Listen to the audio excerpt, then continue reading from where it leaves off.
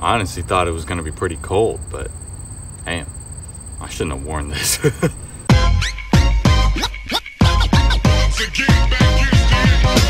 Welcome back everybody. So in the last video, we touched on two-step as well as how to use our bodies within two-step to express ourselves. We're gonna expand on that concept with more top rock moves. Let's get it. So this is actually a, uh, somewhat of a variation on two-step. Um, sort of actually the reverse of two-step in a way. Instead of moving from side to side, we're actually gonna be placed in one spot. We have a center point, okay, that we're always coming back to. What I want you to do is take a step out, like you were gonna do two-step, but then actually come right back. So take a step out and come right back. Do it on the other side and come back. Take a step out, come back. Out, back, out, back. That's it. That's actually called the salsa step. One thing actually about the salsa step is you don't want to necessarily put all your weight on this foot, but you also don't want to just kind of leave it out there.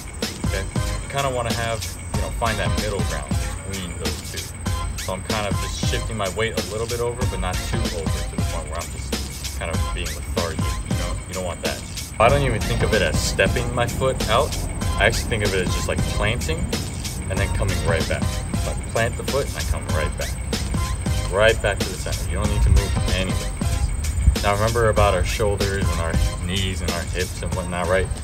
We Really get creative with this one. If we were to put it in counts, let's say to some music, probably count it off like one, two, three, four, five, six, seven, eight. All right, let's try it together. I'll count five, six, seven, eight. Then we're done. Okay. Five, six, seven, eight. One, two, three, four, five, six, seven, eight. You can even do the same foot twice if you want to, and then go. Do two at the same time. Yeah.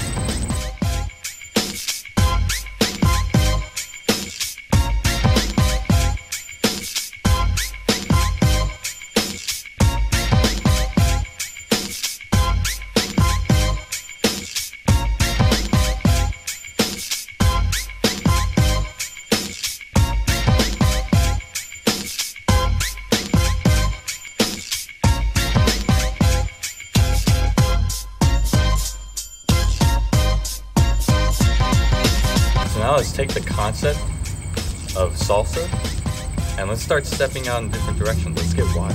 From the center point, what I want you to do is take one foot and cross it in front of the other foot.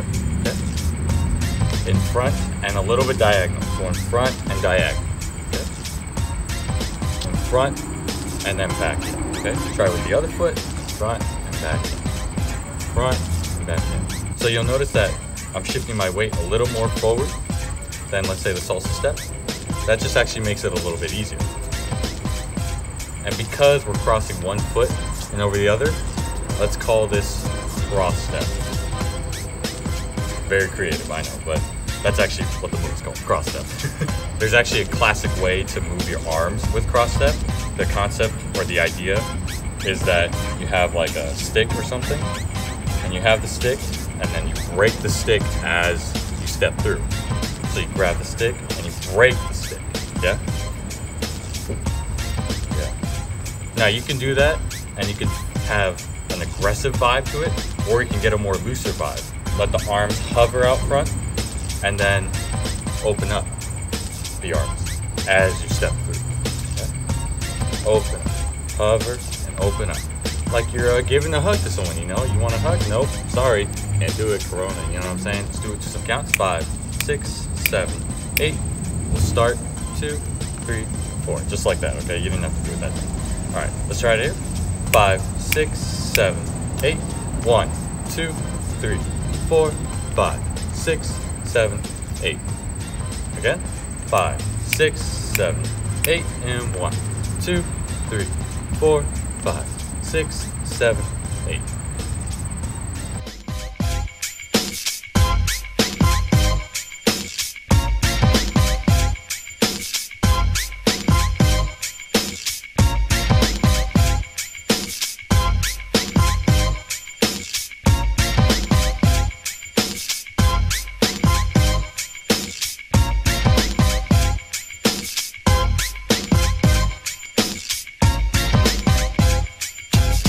Hopefully you're starting to get more comfortable with both salsa and cross step to the point where you can almost do it interchangeably.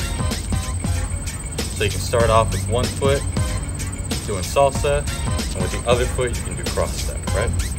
And just starting to get the feel of that transition. Because it's all coming from here with our feet together, right? So it all comes from our feet together, and then from here we can go to salsa or we can go to cross, right? And again, the whole notion of how do I, you know, what's some variations on cross step? How can I do it? Well, we already talked about the arms, right? Um, another thing, both with variations on salsa and cross, is to vary the step size or your stride. So you can take small steps, like this. Be really compact, or you can take wide steps. You go crazy, you know? Let's do some counts. Let's go two steps of cross, two steps of salsa. Let's just try that. Five, six, seven, eight, one, two, three, four, five, six, seven, eight. Okay. Again, let's do a reverse. Five, six, five, six, seven, eight, and one, two, three, four, five, six, seven, eight. There you go.